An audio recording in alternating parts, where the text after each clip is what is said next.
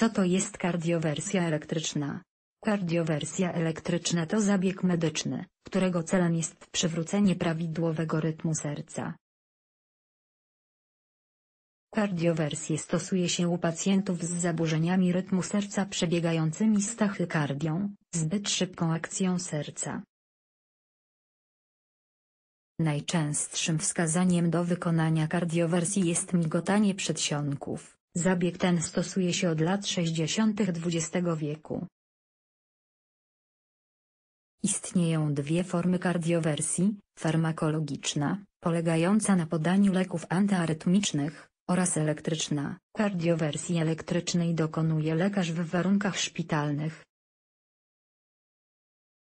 Przez elektrody umieszczone na klatce piersiowej przesyła się impuls elektryczny, który przechodzi przez serce. W kardiowersji elektrycznej, w przeciwieństwie do defibrylacji, impuls elektryczny powinien być odpowiednio zsynchronizowany z rytmem pracy serca. Wyładowanie musi się zbiec ze skurczem komór, czyli z załamkiem R obserwowanym w zapisie EK, na czym polega kardiowersja elektryczna. Kardiowersja to metoda leczenia niektórych zaburzeń rytmu serca, arytmii.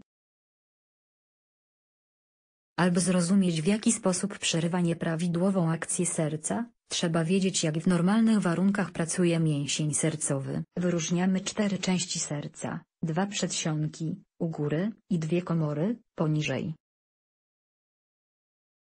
Prawidłowo, w prawym przedsionku serca znajduje się naturalny rozrusznik serca, czyli obszar, który generuje regularne impulsy elektryczne, węzeł zatokowy. Impulsy te rozchodzą się określonymi drogami po przedsionkach, a następnie komorach serca. Każde przejście impulsu elektrycznego powoduje skurcz serca, kolejno, przedsionków, a potem komór. Każdy impuls elektryczny powinien wygasnąć po przemierzeniu drogi z góry na dół serca i stworzyć miejsce dla kolejnego wyładowania. Jeśli na drodze przewodzenia pojawi się jakaś blokada lub dodatkowa ścieżka dla impulsu elektrycznego, powstają zaburzenia rytmu serca. W niektórych sytuacjach, gdy obecne są dodatkowe, nieprawidłowe szlaki przewodzenia w mięśniu sercowym, impuls elektryczny zaczyna krążyć w kółko zamiast zmierzać w jednym kierunku, tak zwany mechanizm reentry. Zamiast wygasać, z każdym kolejnym okrążeniem powoduje kolejny skurcz,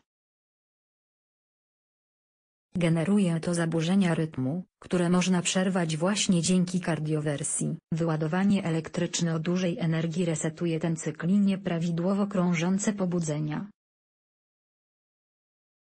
Serce na ułamek sekundy zatrzymuje się. Dzięki tej krótkiej pauzie naturalny rozrusznik serca może na nowo zaskoczyć i zacząć nadawać prawidłowy rytm serca. Jak przebiega procedura kardiowersji elektrycznej? Ponieważ przejście impulsu elektrycznego jest nieprzyjemnym i bolesnym doznaniem, kardiowersję elektryczną wykonuje się w krótkotrwałym znieczuleniu, z reguły nie jest potrzebna intubacja. Najpierw pielęgniarka lub lekarz zakłada wejście dożylne, przez które podaje się środki uspokajające, nasenne i przeciwbólowe, w czasie kardiowersji elektrycznej pacjent śpi i nie czuje bólu. Jego parametry życiowe są ściśle monitorowane. Do wykonania kardiowersji elektrycznej stosuje się ten sam aparat, którego używa się do defibrylacji, ale zmienia się jego ustawienia, tryb synchronizacji. Wyładowanie elektryczne można uzyskać przykładając łyżki defibrylatora, które trzyma lekarz lub za pomocą elektrod przyklejanych na klatce piersiowej. Przed zabiegiem może być konieczne ogolenie klatki piersiowej. Stosuje się dwie łyżki slash elektrody, które umieszcza się w odpowiednich pozycjach na klatce piersiowej lub jedną na klatce piersiowej, a drugą na plecach. Lekarz obserwuje rytm serca pacjenta, zapisek, na monitorze kardiowertera i w odpowiednim momencie dokonuje wyładowania elektrycznego. Trwa ono mniej niż 1 s. Następnie lekarz sprawdza ponownie rytm serca, aby ocenić, czy kardiowersja była skuteczna. Czasem niezbędnych jest kilka wyładowań. Energia wyładowania zależy od rodzaju zaburzeń rytmu serca. Z każdym kolejnym wyładowaniem stosuje się nieco większą energię, z reguły jest to kolejno 100, 200, 300 i 360 J, w szczególnych przypadkach można zacząć już od 25 J. Pacjent wybudza się zaraz po zabiegu i z reguły w ogóle go nie pamięta. Cała procedura, wraz z przygotowaniem, uśpieniem, pacjenta i wybudzeniem trwa około 30 minut. Po zabiegu pacjent poddawany jest przynajmniej kilkugodzinnej obserwacji w warunkach szpitalnych. Jeśli lekarz zadecyduje, że pacjent może jeszcze tego samego dnia opuścić szpital, należy pamiętać, że w ciągu 24 godzin od przyjęcia leków znieczulających nie powinno się prowadzić samochodu. Kiedy stosuje się kardiowersję elektryczną, ze względu na wskazania do zabiegu, kardiowersję elektryczną podzielić wykonuje się jako pilną lub planową. Kardiowersję pilną stosuje się w zaburzeniach rytmu przebiegających z tachykardią, zbyt szybką akcją serca, która upośledza znacząco pracę serca, czyli powoduje zaburzenia hemodynamiczne. Jest to stan zagrożenia życia. Jako planowy zabieg leczniczy, kardiowersję wykonuje się w zaburzeniach rytmu przebiegających z tachykardią, głównie migotanie przedsionków i trzepotanie przedsionków ale bez zaburzeń hemodynamicznych. Planowa kardiowersja stosowana jest u osób, u których nie powiodło się leczenie farmakologiczne oraz u osób, u których stwierdzono przeciwwskazania do stosowania leków antyarytmicznych, przed wykonaniem planowej kardiowersji podaje się leki przeciwkrzepliwe, co zapobiega powikłaniom zabiegu. Patrz niżej. Dlaczego stosuje się kardiowersję elektryczną?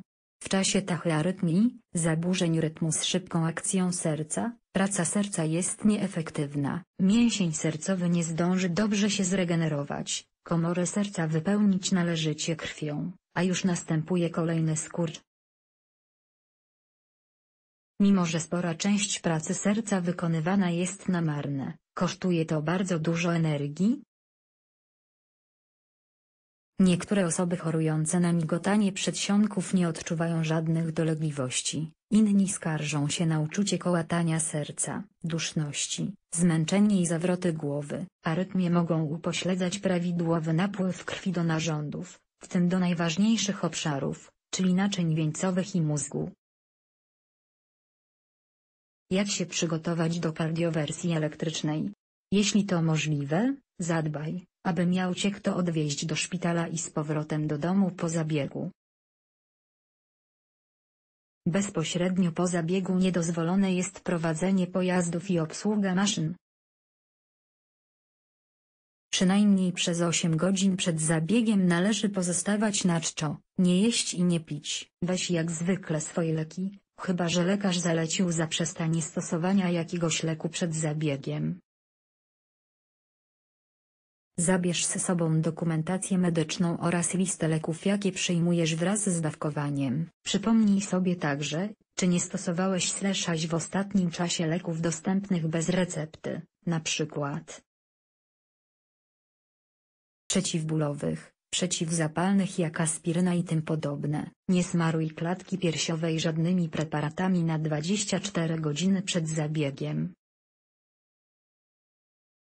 Ryzyko związane z kardiowersją elektryczną zaburzenia rytmu serca, takie jak migotanie przedsionków, sprzyjają formowaniu się skrzeplin w przedsionkach. Przywrócenie prawidłowej akcji serca sprawia, że przedsionki odzyskują zdolność bardziej efektywnego skurczu,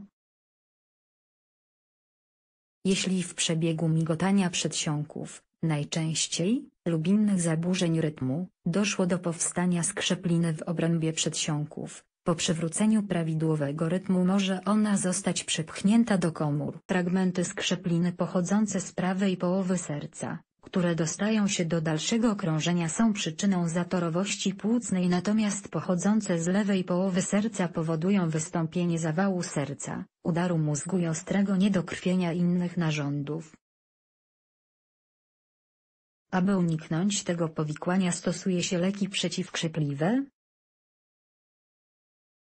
jeśli lekarz podejrzewa, że mogło dojść do powstania skrzepliny w obrębie przedsionków, można to sprawdzić przed zabiegiem kardiowersji elektrycznej za pomocą badania echokardiograficznego. Aby uwidocznić skrzeplinę w sercu najlepiej wykonać echokardiografię przez przełykową, wprowadzając odpowiednią głowicę echokardiograficzną przez przełyk. Skóra w miejscu przyłożenia łyżek lub elektrod może ulec podrażnieniu podczas kardiowersji elektrycznej, aby złagodzić dolegliwości z reguły wystarczą odpowiednie kremy i balsamy. Rzadko zdarzają się oparzenia skóry w miejscu przyłożenia łyżek slash elektrod. W rzadkich przypadkach równocześnie z przerywaniem tachykardii zabieg ten może powodować inne zaburzenia rytmu serca związane ze zbyt wolną akcją serca, bradykardią.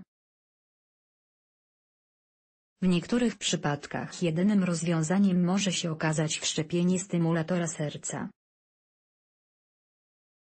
Skuteczność kardiowersji Skuteczność kardiowersji w przerywaniu napadu migotania przedsionków wynosi ponad 75%. Szanse powodzenia zabiegu zależą od czasu trwania choroby. Jeśli problem migotania przedsionków utrzymuje się u pacjenta od roku, szanse powodzenia kardiowersji wynoszą nawet 90%, ale po 5 latach trwania choroby skuteczność zabiegu maleje do 50%. Trzepotanie przedsionków to kolejny rodzaj zaburzeń rytmu, które można leczyć za pomocą kardiowersji elektrycznej. Skuteczność zabiegu w tym przypadku wynosi nawet 90 do 100% i nie zależy od czasu trwania choroby. Ryzyko zatorowości z powodu skrzepliny jest mniejsze niż w przypadku migotania przedsionków. Mimo to stosuje się leczenie przeciwkrzepliwe, aby uniknąć komplikacji. Jak każda procedura medyczna, kardiowersja elektryczna nie ma 100% skuteczności. Może się zdarzyć, że pomimo kardiowersji elektrycznej nie udaje się przywrócić prawidłowego rytmu serca. Pacjent może wówczas wymagać dodatkowego leczenia farmakologicznego i slash lub zabiegów elektrokardiologicznych.